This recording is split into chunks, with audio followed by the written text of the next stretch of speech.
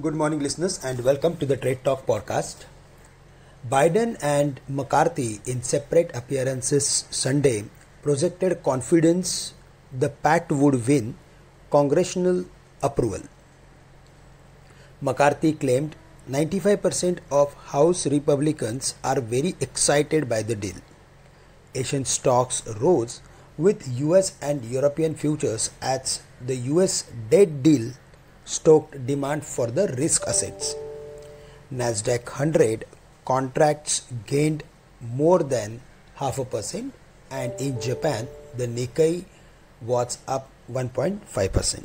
Singapore Nifty is also trading nearly 150 points higher.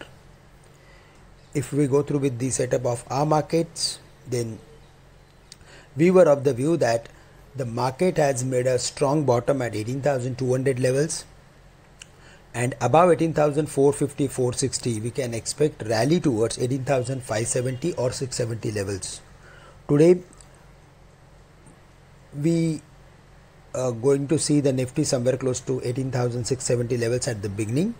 There we need to be careful as the market is going to complete one more leg of upward activity close to 18,650 or 670 levels.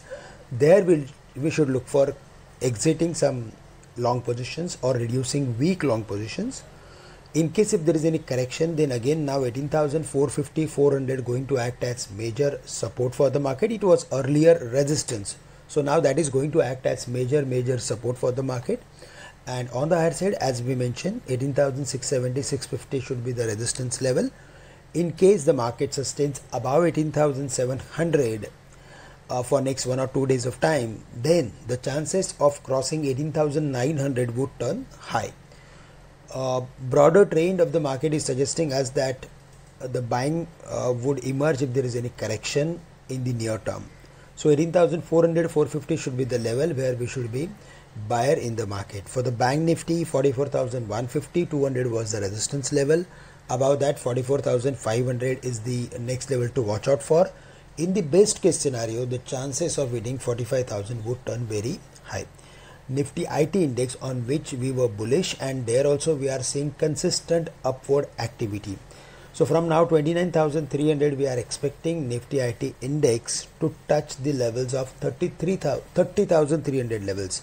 So again 1000 points rally is more likely in the near term from the uh, Nifty IT index. So we need to be more and more stock specific as we are heading or we are opening somewhere close to resistance level.